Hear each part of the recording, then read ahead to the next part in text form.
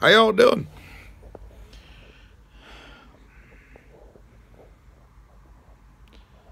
Just want to throw a few of my uh, signs up. Let's think about this a second.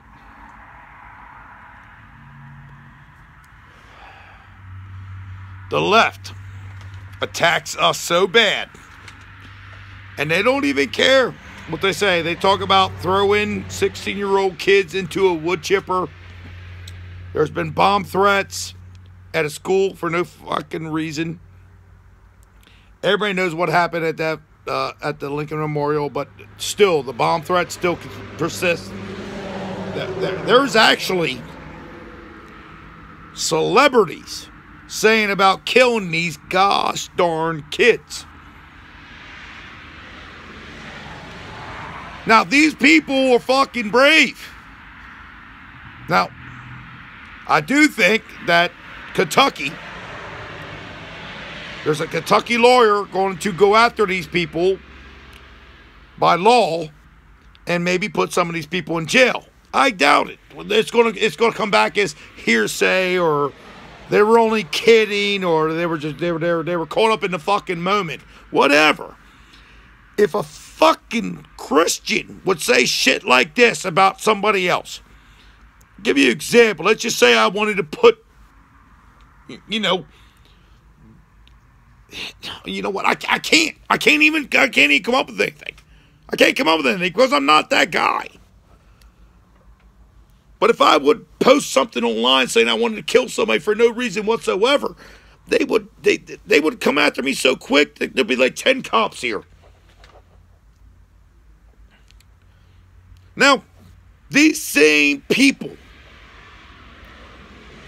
want me to give up my firearms. Now, I want you guys to think about this a second.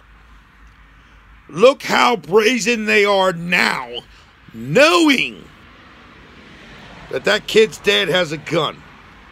He does. I know he does. This is Kentucky. And I have a gun. And you won't believe this the things people say to me.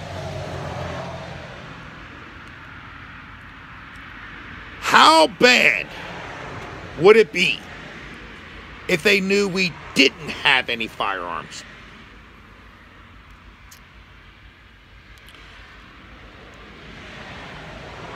They'd come get us right away, wouldn't they? They'll say that fat bearded son of a bitch can't protect himself. We're going to take him out. And they'll take me the hell out. I'm already being taken out my speech and everything else through YouTube, through Facebook, whatever. It happens all the time. A lot of my videos get blocked. Think about what these people said to that 16 year old or seven, sorry, 17 year old boy. And they want to throw him through a wood chipper and the bomb threats. And they, they, they talked about burning the whole school with all those kids in it. Think about what they would do if they didn't know you were armed. Now, these are just empty threats. I know they are.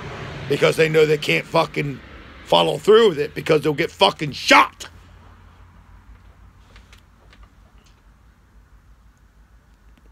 Imagine if they knew you didn't have a fucking gun. Imagine that Kentucky Catholic school right now.